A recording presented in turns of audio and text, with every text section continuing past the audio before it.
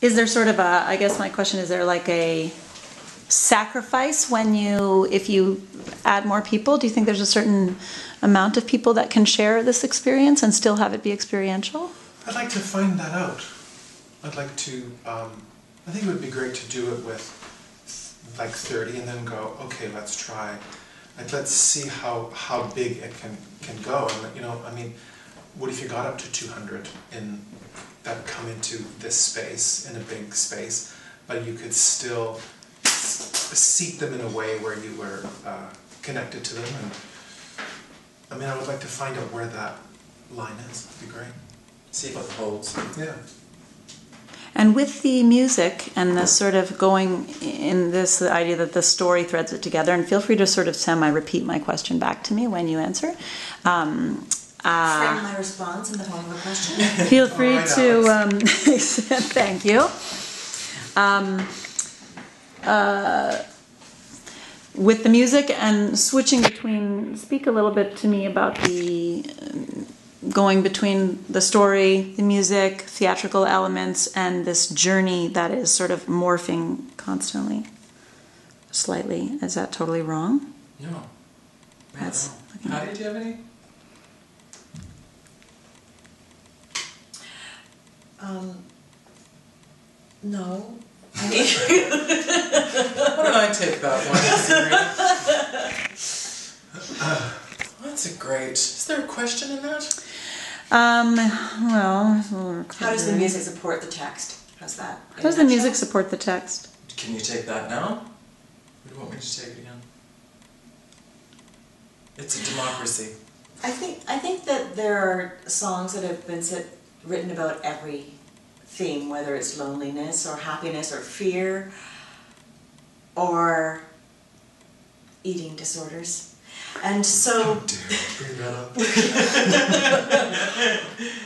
so if you, if you look hard enough and you listen hard enough, then you you find the right song. There has to be a reason for the song to be in the show, though. I mean, it's not just there to showcase a voice. There's a specific purpose for every song, and we we found some beautiful, beautiful songs. And then and cut some.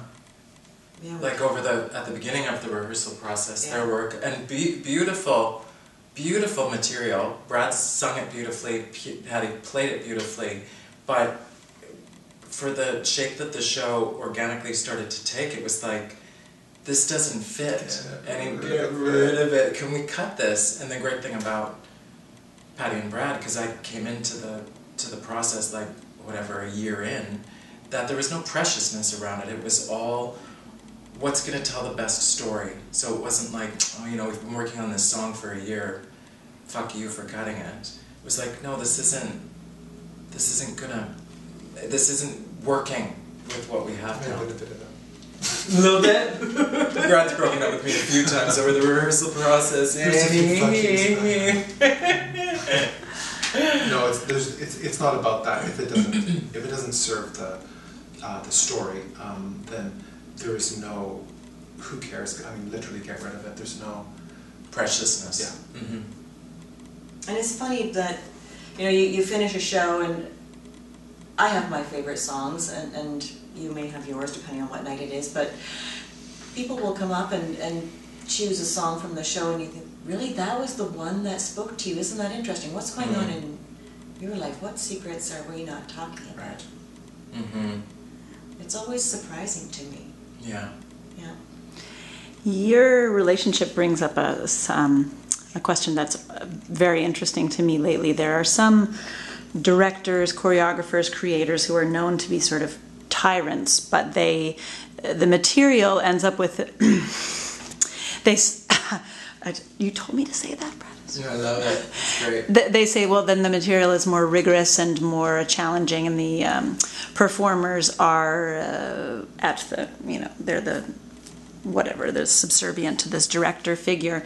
And then there's the other extreme, which is collective um, creation. And it just seems to me that, and I'm curious to know your thoughts about, let me see if I can find a question in here.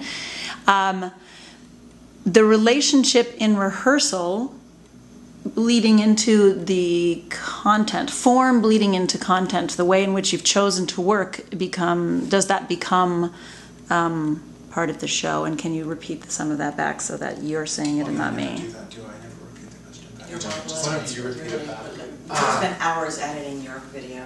I Pause for one second. sure.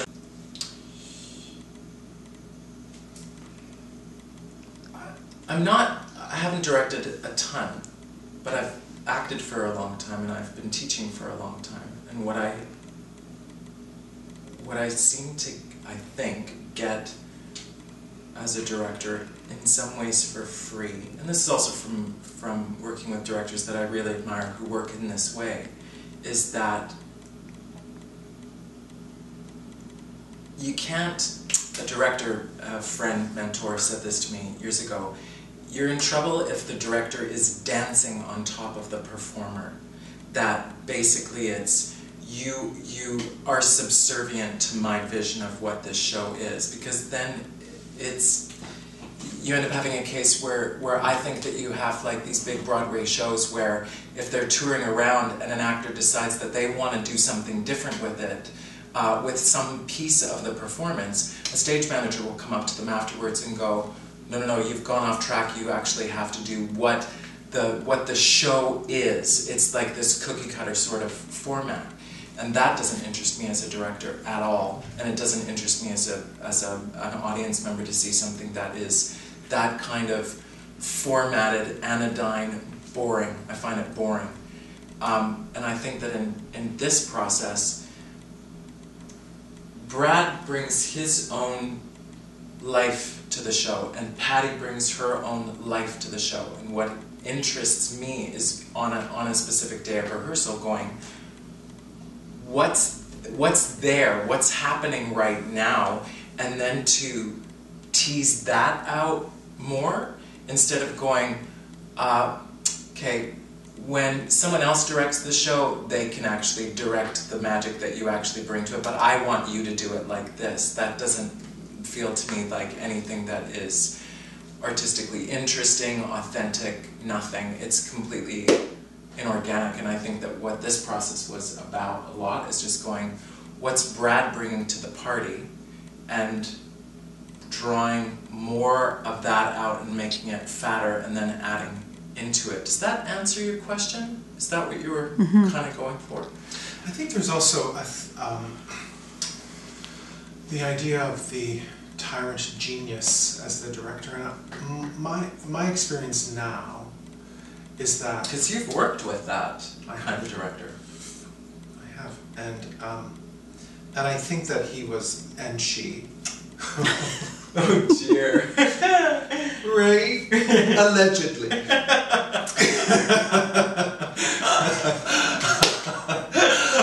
then we're safe. Allegedly, a tyrant, and allegedly. But I think what it, what it is, if I if I boil it down as a sensitive guy, I just think I don't want to be bullied into a good performance. Mm-hmm. I want to find it based on my my the, the most wholehearted that I can be in a day, and someone who goes, okay, let's let's let's do this sh- this scene now, and I think what that does in, in a rehearsal process is it actually informs how the performance is going to be. That on the performance night, I'm not going to be like, well, I've got to, you know, I've got to get backstage and you know do some tongue twirls, and I, it's about hanging out with the audience and going, hi, I'm really glad that you came. And then they show up, and then what we then have is 30 acting partners that, um, it's a, that's ugly, yeah. I didn't end that well, but that's okay. Isn't it? Oh, mercy. Pat, Seriously. in conclusion, in summary. That's yours. You own it. Yeah. And I think the collective process is a process that interests me now um, more than I did when I was 20 or even 30 uh, because I have more confidence now. Mm. hmm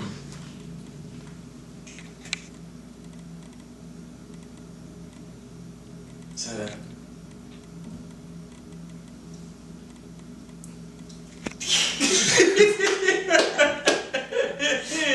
Didn't take my gum out of my mouth. I'm furious. I know. Hope we don't have like big. KB. Okay, alright, so like this. Um, that's, that's pretty. Yeah, about. It's a prairie thing, right? it's always Gum? a prairie thing. Yeah. It's always a prairie thing.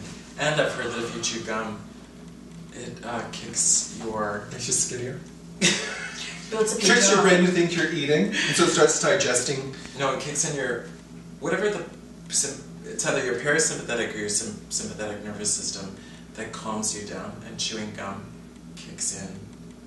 Yeah, but what about the This? the over? That's alright, but you're not This is what I want for Christmas. A facelift? No, I'm kidding. You should get those tape, the tape that you just put in your hairline. The Sugar McLean tape. Won't it show? Maybe you can get like designer colors. Just go you have that. so much hair that it won't There you show. go ryczała mi liście